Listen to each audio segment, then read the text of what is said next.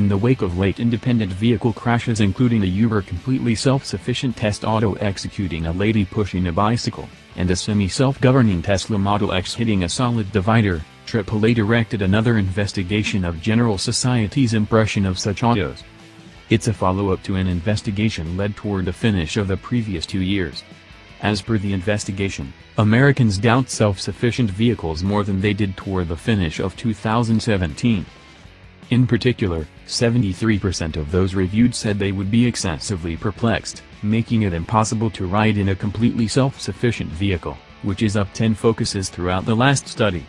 Americans likewise aren't open to being a person on foot around self-ruling vehicles either, with 63% saying they would feel less sheltered as a walker or cyclist out and about with self-driving autos.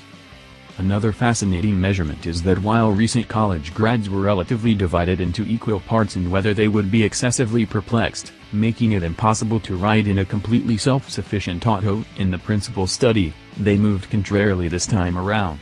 Rather than 49% being excessively anxious, making it impossible to ride in a self-driving auto, the rate hopped to 64%. In past examinations, more youthful individuals reviewed had been all the more tolerating of the innovation,